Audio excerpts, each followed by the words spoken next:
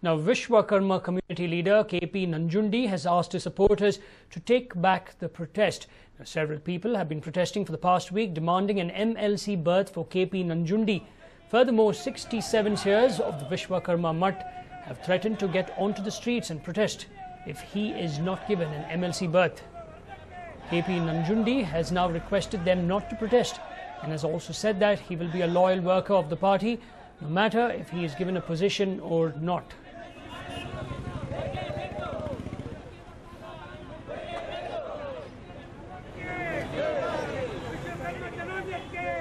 What you see is this protest that uh, ensued right in front of the Congress office, which is located on Queen's Road. As of now, KP Nanjundi has requested them not to protest. And it's further stated that he will be a loyal worker of the party no matter if he is given a position or not.